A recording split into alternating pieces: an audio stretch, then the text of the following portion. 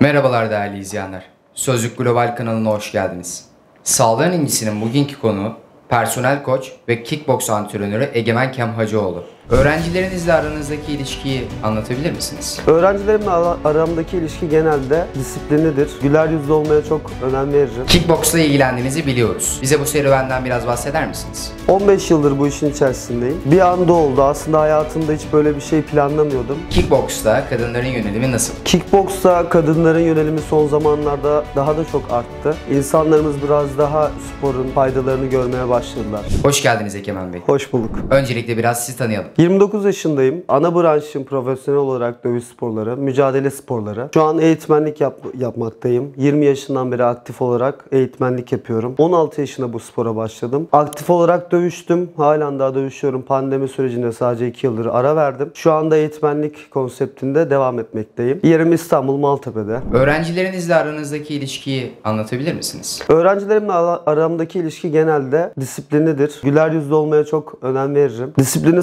sağlamaya çalışırım her zaman. Güler yüzlü olmaya özen gösteririm. Onlara gerçekten kısa zamanda öğrenmiş olduğum her şeyi hızlı bir şekilde aktarmaya çalışırım. Hayatta ben de yani beni hayatları boyunca her zaman bir köşede unutmamalarını isterim. Sağlamaya çalışırım. Yeterli olur. Bu çok fazla şey ya. Çok geniş kapsamlı. Bunu yani aç aç bitmez aslında. Kickboxla ilgilendiğinizi biliyoruz. Bize bu serüvenden biraz bahseder misiniz? 15 yıldır bu işin içerisindeyim. Bir anda oldu. Aslında hayatımda hiç böyle bir şey planlamıyordum. Sadece spor salonuna gitmekle her şey başlangıç oldu. Çok kısa zamanda başarılı oldum. Hem yarışmalar olarak olsun. Aynı zamanda eğitmenlik kısmı beni çok mutlu etti. Çünkü insanlara öğrendiğim bir şeyi aktarabilmek gerçekten beni çok mutlu ettiğini gördüm. Eğitmenlik kısmında birazcık daha yöneldim. Ama halen daha aktif olarak dövüşmeye çalışıyorum. Sadece arada bir pandemi sürecidir beklemekteyiz. Sağlığım el verdiği sürece her zaman ringlerde olacağım. Ring benim evim. Kickboxta kadınların yönelimi nasıl? Kickboksta kadınların yönelimi son zamanlarda daha da çok arttı. İnsanlarımız biraz daha sporun faydalarını görmeye başladılar. Hem spor anlamında olsun hem kendilerini savunma konusunda olsun. O yüzden birazcık daha yönelimimiz arttı. Bunu daha da çok arttırmalıyız. Çünkü kadına şiddetle alakalı maalesef ki üzücü durumlarımız söz konusu. O yüzden kadınlarımızın lütfen güçlü olmasını öneriyorum. Buradan onlara sesleniyorum. Kadınlarımız daha güçlü olsun.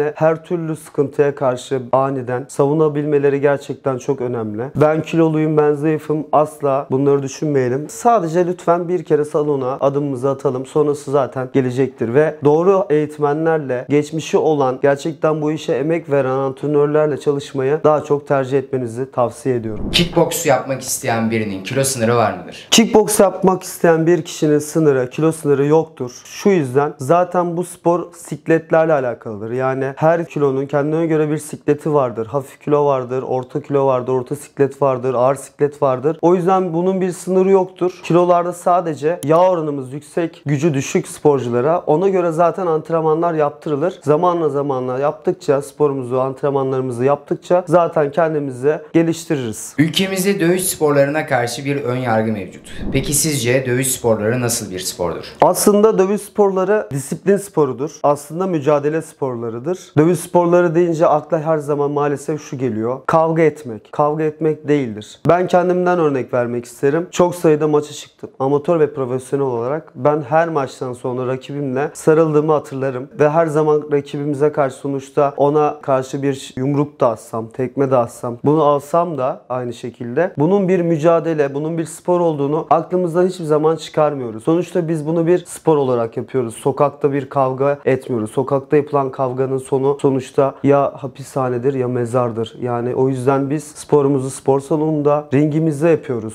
Yani bu algıdan lütfen uzaklaşalım. Örnek vermek gerekirse evet ben spora başlamadan önce enerjim evet çok yüksekti. Enerjimi atamıyordum. Kavga ettiğim zamanlar oluyordu. Ama ben spora başladıktan sonra gerçekten rahatladığımı hissettim. Mutlu olduğumu hissettim. Daha relax olduğumu hissettim. Özellikle dövüş sporları yaptığım için kötü enerjimi attım. O yüzden dövüş sporları gerçekten her bireyi disipline eden bir spordur. Zaten disipline olmayan kişiler sporu bir an önce öğrenip dışarıda da kötü amaçlı kullanmaya çalışırlar ama bunlar hiçbir zaman başarılı olamazdır. Zaten bunun sonucu bellidir. Sokakta kavga denilen bir şey asla yasal değildir, olmayacaktır. Pandemi sürecinde herkes kilo aldı. Buradan zayıflamak isteyenlere önerileriniz nelerdir? Pandemi sürecinde maalesef ki evlere kapandık. Pandemi sürecinde aslında evimizde gene spora devam edebiliriz. Bahçemize çıkabilip bahçemizde spor yapabiliriz. Yani kendimizi bırakmayalım. Sporumuza bir şekilde devam edelim. Online eğitim alabiliyorsak online eğitim alalım. Beslenmemize dikkat edelim. Tabii ki de profesyonel bir koçla birlikte ilerlersek bu süreci daha zevkli, daha profesyonel anlamda hızlı bir şekilde tamamlayabiliriz. Peki kardiyo sizce antrenmanın ilk zamanında mı yapılmalı yoksa son zamanında mı yapılmalı? Şöyle bu kişiye göre değişen bir şeydir aslında. Yağ oranı yüksek kilolu bireylerde tabii ki de ilk önce kardiyovasküler idmanlar yapılmalıdır belli bir sürede. Hedefimiz neyse hedefimize ulaşana kadar kardiyo yani kardiyo dediğimiz olay şudur. Bisiklettir, kardiyovasküler antrenman sistemleridir, koşu bandıdır, kickbox olabilir. Nabzımızı doğru aralıklarda yaptığımız antrenman branşlarıdır. Yani o yüzden zayıf bireylerin ilk önce kardiyo yapmasına tabii ki de gerek yoktur. Zayıf bireylerdeki spor güçlenmek, daha çok kilo almak, boya ve kiloya orantılı bir şekilde antrenman yapmaktır. Eğer ki bireyin kilosu fazlaysa tabii ki ona göre de daha çok kardiyo antrenmanları yapılmalıdır. Kısacası bu bireylere göre değişen antrenman sistemleridir. Peki sizin hedefleriniz nelerdir? Benim hedefim ülkemizde aslında sporu daha çok yaygınlaştırmak, sporun faydalı olduğunu göstermek. Benim fiziğim zaten iyi, ben spor yapmayayım diye bir kaydı asla yoktur. Sporu biz görüntü için yapmayız. Sporu sağlıklı olabilmek için yaparız. Görüntü için de yapan kişilere gene saygımız tabii ki de sonsuzdur. Evet zaten spor yaptıkça giydiğimiz kıyafetler bize daha da çok yakışacaktır. Sporu tabii ki her anlamda tavsiye ediyorum. Hedeflerim şu, ülkemizde spor salonlarını tamamen fazlasıyla yaymak ve kendi ismim altında büyük spor salonları açmak, dövüş sporlarına öncelikle mücadele sporlarını daha da çok yaygınlaştırmak, özellikle kadınlarımızın spora lütfen daha da çok yönelmelerini istiyorum bu sporla özellikle. Güçlü olmalarını, kendilerine her anlamda, her an, her kötü anda kendilerini savunabilmelerini şiddetle tavsiye ediyorum. Bu konuda her zaman